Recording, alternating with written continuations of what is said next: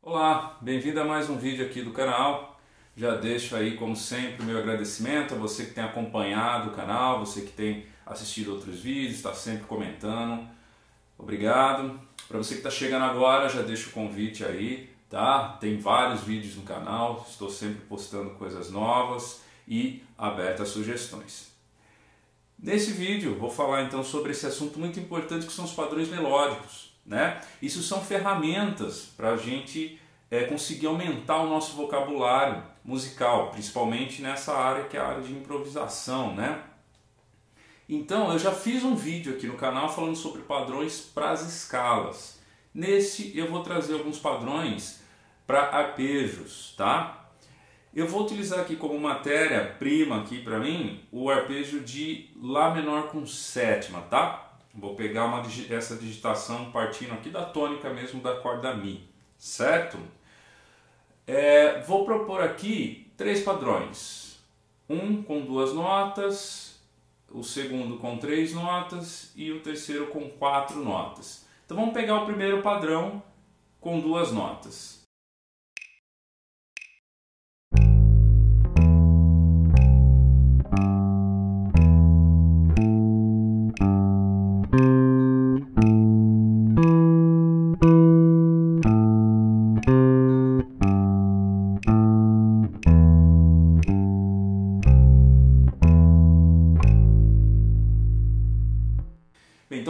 Ideia aqui desse padrão? É a gente pular a, a, segunda nota do arpejo, né? Então eu toco a tônica e já vou para a quinta, certo? Aí eu vou tocar a terça, né? Então tônica, quinta. Depois eu toco a terça, sétima. Aí quinta, tônica e assim por diante. Sétima, terça, né? Então eu sempre pulo a próxima nota, né? Toco a, a, a primeira nota, pulo a próxima aqui do arpejo e vou para a terceira nota do arpejo. É assim que a gente vai fazendo, sempre alternando as notas. É um ótimo exercício para técnica também. Bem, aí é uma outra ideia é a gente colocar é, é, outras subdivisões sobre esses padrões, né? Então eu toquei aqui sempre é, uma nota por tempo, só para você ver a digitação. Agora eu vou tocar esse mesmo padrão, já utilizando duas notas por tempo tá? Então, ou seja, colcheias, tá bom? Então vou fazer o mesmo padrão com duas notas por tempo.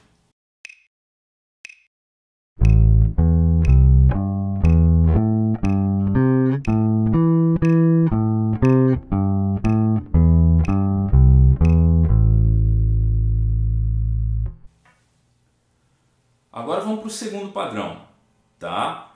O segundo padrão eu vou tocar descendente aqui, ó. Então eu vou fazer quinta, terça, tônica, sétima, quinta, terça e assim por diante, tá? Já vou fazer ele com duas notas por tempo. E aí você vai sentir uma, uma, uma coisa muito legal, porque o padrão é de três, mas eu vou tocar sobre uma rítmica de dois, ou seja, um padrão de três notas sobre uma rítmica de dois tempos. Então ele fica cada hora a nota, é, é, é, a nota, a primeira nota do padrão vai ficar uma hora na, na cabeça do tempo, uma hora no contratempo. Então isso é super legal. E essa conseguir ter essa habilidade de trabalhar padrões de três tempos com rítmicas de dois, né? com rítmicas binárias, né? padrões de três com rítmicas binárias e ao contrário, padrões, padrões de dois com rítmicas de três tempos. É super legal você conseguir ter essa habilidade também. Então vamos ver como isso fica com duas notas por tempo. O segundo padrão, tá?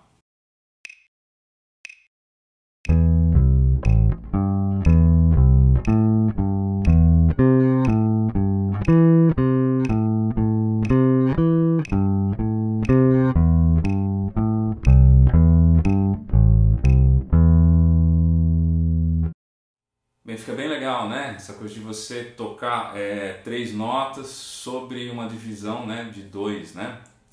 É, agora, como ele tem três notas, ele fica bem legal sobre uma subdivisão de tercina, né? Ou seja, aquela, aquela subdivisão que são três notas dentro de um tempo, tá? Vou fazer agora também, agora seguindo essa, essa rítmica, né? A tercina, três notas por tempo.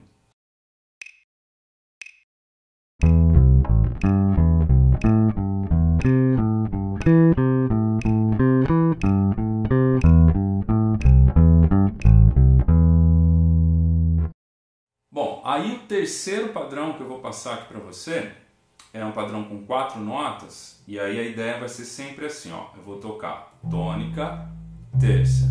Aí eu já vou pular lá para sétima. Então eu pulo a, a, terceira nota aqui do arpejo, né? E já vou para a quarta nota do arpejo.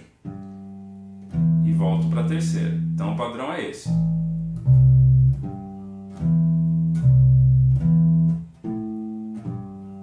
Tá? Acompanhe na tablatura.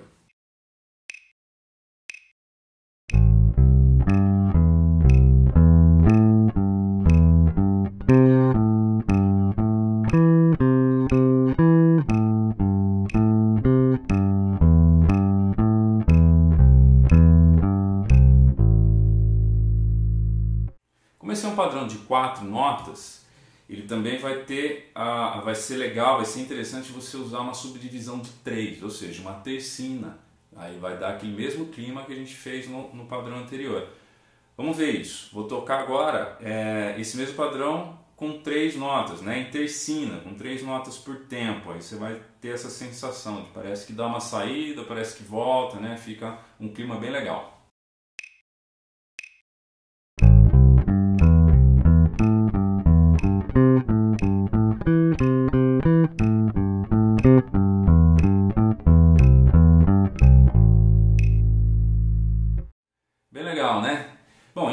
Isso. Acho que o importante de você, além de pegar os padrões, né, é você aplicar essas subdivisões neles, para você ir criando essa, esses climas, né, essa coisa de é, é, conflitante entre o, a, a, tocar um padrão, uma, um, uma melodia, sempre resolvendo a cada duas notas, mas a rítmica a cada três e o contrário também, né?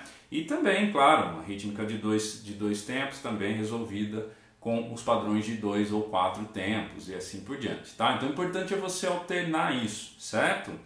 Use então sempre uma, duas, três e quatro notas por tempo.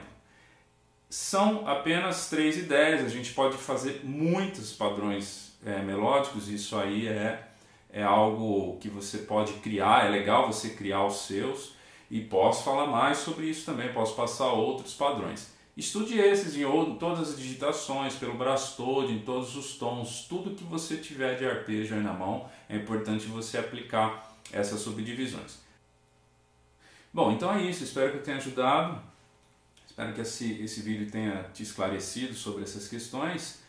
E já agradeço aí por ter chegado até o final do vídeo, agradeço a quem está acompanhando o canal, a quem, tá, a quem já se inscreveu, se você não se inscreveu já deixo o convite aí tá? É, não esqueça de, de deixar os seus comentários, não deixe de, de dar suas sugestões, tá bom? Muito obrigado, bons estudos e até a próxima.